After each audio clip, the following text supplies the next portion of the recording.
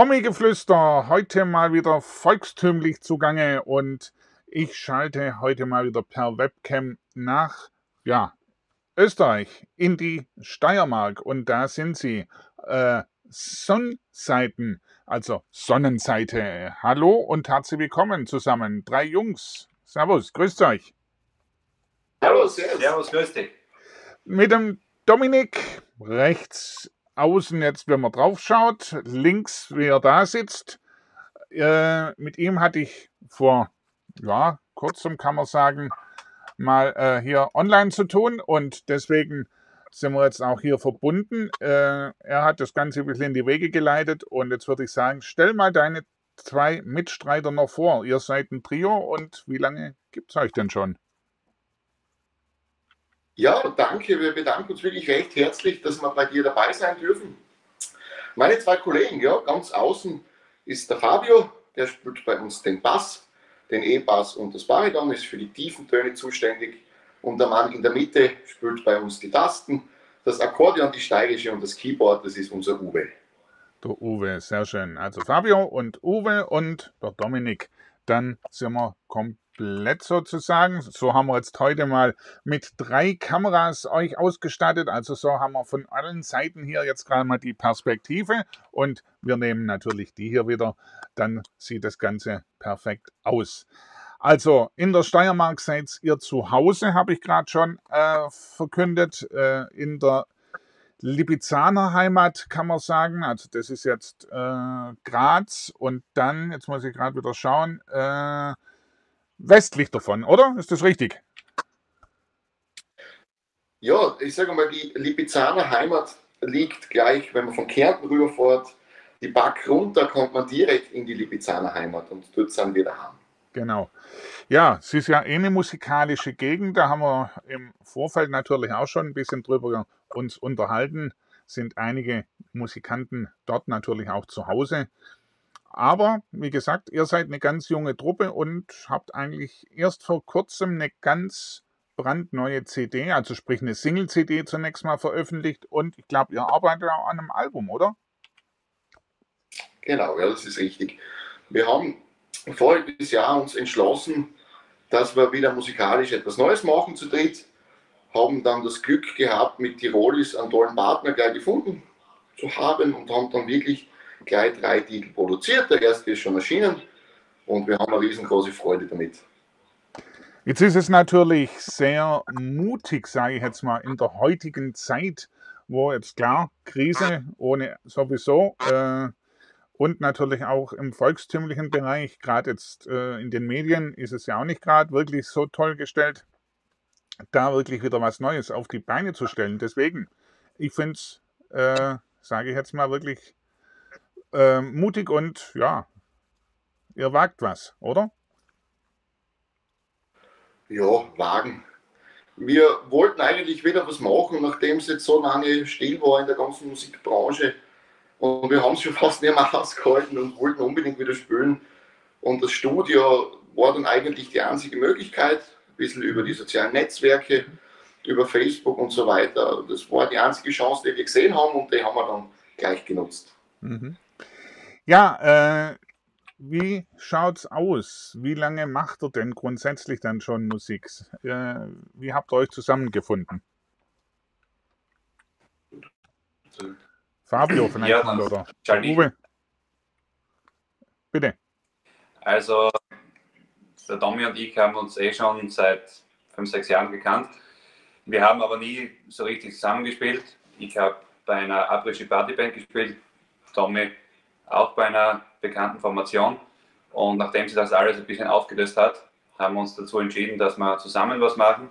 Mhm. Und ich glaube, das kommt recht gut an. Okay.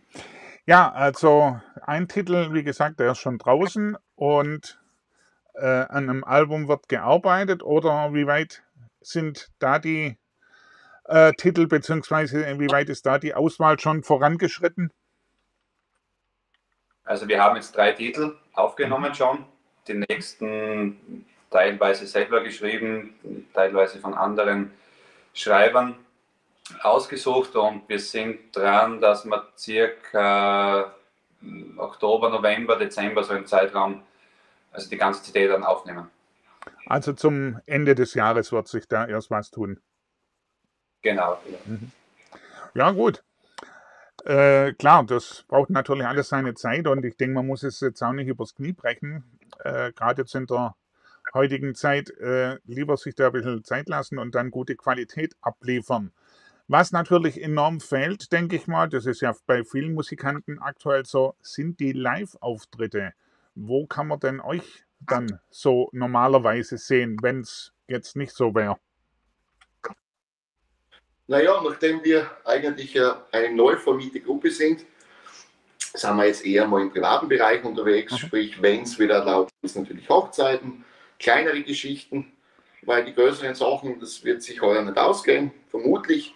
Wir haben zwar schon nette Anfragen gehabt, auch von größeren Veranstaltungen.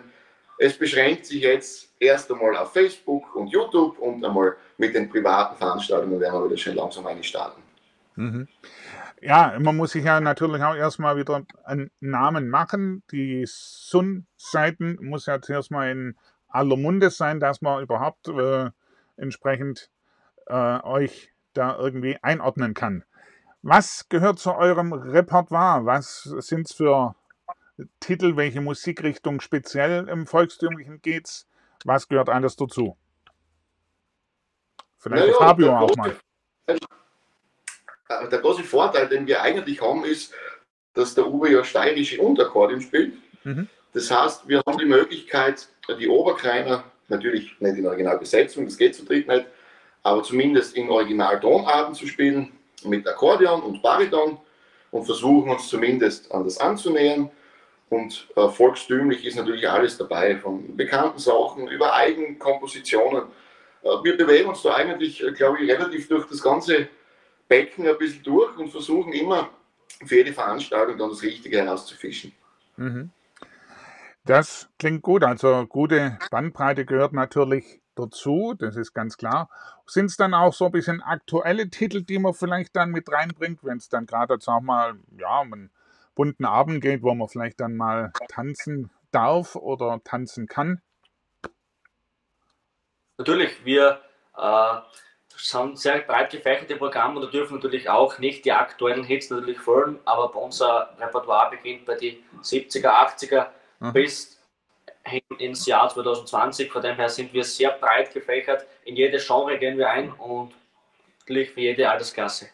Mhm. Genau, nee, das ist, glaube ich, ganz gut, so wie man es eigentlich auch kennt in der volkstümlichen Branche. Da sind es natürlich auch viel die Zeltfeste sonst und äh, klar, irgendwelche geselligen Abende und so weiter. Da gehört einiges dazu. Ja, äh, eure CD, wenn sie dann, wie gesagt, im Herbst erscheinen soll, wird. Wie viele Titel sind genau drauf? Was habt ihr da so geplant? Also wir rechnen mal mit 12, 13 Titeln mhm. wahrscheinlich. So in die Richtung wird es gehen. Ähm, von volkstümlich bis Schlager, Party wird alles dabei sein. Äh, ja, wir sind selber schon gespannt. Die Titel wie sie werden. Und ja, schauen wir mal. Ähm, wie sieht es denn aus? Dann werden, habt ihr da selber jetzt äh, Hand angelegt dabei komplett oder gibt es auch ein paar Titel, die von jemand anders dazu kamen? Naja, wie der Uwe vorher schon gesagt hat, wir versuchen natürlich immer von uns auch was mit einzubringen, weil ich glaube, man merkt es dann auch, wenn man einen eigenen Titel spielt, das Feeling ist einfach ein ganz anderes, wie wenn man jetzt vom Komponisten den ganzen Titel hat. Mhm. Aber natürlich, wenn wir jetzt wirklich das breite Spektrum auch bedienen wollen, müssen wir auch ein bisschen natürlich für andere das auch nehmen. Nehmen wir aber auch sehr gern an, wenn die Titel qualitativ gut sind. Wir haben wirklich tolle Partner und Komponisten, mit denen wir bis jetzt schon zusammengearbeitet haben. Also immer ein bisschen was Eigenes, aber auch ein bisschen ein, Aus, ein Einfluss von außen. So. Ja. Das darf nicht fehlen. Ja, das klingt doch sehr gut, ganz genau. Gehört dazu und natürlich, äh, wie entstehen dann die Ideen so? Wer trägt was dazu bei von euch? Oder kommen da von allen gleich die Ideen? Seid ihr da euch schnell einig? Wie schaut es aus? Na, ich glaube, grundsätzlich macht immer jeder für sich mhm. seine Ideen. Wir da. dann wird der Titel mal ungefähr in Form gebracht und dann setzen wir, bevor wir ins Studio gehen und jeder bringt vielleicht etwas ein, wir arbeiten ein bisschen dran. Also ich glaube bis jetzt, das gesamte Konzept war immer Songseiten. Also Genau. war für jeden was dabei. Ja, ähm, mit Musikkollegen kommt man dann natürlich auch zusammen, denke ich mal, äh, wenn es dann auch wieder losgeht. Was, äh, ja gut, ich meine, Highlights kann man jetzt noch nicht sagen, ihr seid ja erst am Kommen, aber äh, was wären so eure Ziele? Wo soll es hinführen? Ich glaube, Ziele setzen tut man sich selber immer sehr hoch. Aber ich glaube, wenn wir jetzt wirklich mit dem Nachdruck, mit dem wir begonnen haben, an unseren Zielen weiterarbeiten, schaut das sehr gut aus. Ein großes Ziel ist einmal sicher jetzt in naher Zukunft die CD. Mhm. Natürlich äh, Fernsehen, Radio, das wäre immer eine tolle Geschichte, vor allem für junge Gruppe. Aber momentan wäre einfach der Wunsch, wieder live vor Publikum zu spielen. Das wäre, glaube ich, das Größte für uns im Moment. Ja, ich glaube, da sprichst vielen aus dem Herzen. Viele sehnen sich danach und da würde ich einfach sagen, drückt mal allen ganz, ganz fest die Daumen, dass das hoffentlich bald wieder möglich ist, dass man wieder raus darf zu den Fans, zum Publikum. Und äh, ja, in diesem Sinne sage ich schon mal recht herzlichen Dank, äh, weil unsere Sendezeit, wenn ich so auf die Uhr gucke, die rennt schon wieder davon. Ähm, deswegen, wenn ihr die neue CD dann habt oder die erste CD im Herbst, dann machen wir auf alle Fälle eine weitere Ausgabe. Dann könnt ihr auch richtig aus dem Vollen schöpfen. An dieser Stelle erstmal herzlichen Dank. Viele, viele Grüße in die Steiermark und auch unsere Fans und Zuschauer. Wenn ihr mehr von den äh, von der Sun-Seiten sehen und hören wollt, es gibt bestimmt auch jetzt die Social Media Plattformen und natürlich auch das Internet. Wo kann man was erfahren? Ja, wir haben natürlich eine neu gestaltete Facebook-Seite, das ist ganz klar. Und auch eine Homepage, der wir zu sind. Ich glaube, das ist kein Problem. Wenn man uns finden will, findet man uns. Also auf Facebook äh, Sonnseiten Musik, Instagram auch sonnseiten.musik und im Internet unter www.sonnseitenmusik.at. Alles klar, da schauen wir rein. Da kann man eigentlich alles Wissenswerte über euch sehen, nachlesen und erfahren. Ganz genau. Also, dann schon mal herzlichen Dank, dass ihr dabei wart und wir sehen und wir hören uns, wir bleiben in Kontakt und euch dann kann man schon wieder sagen, eine schöne Sommerzeit dann in dem Fall schon, ne? Ja, Ja, schauen wir.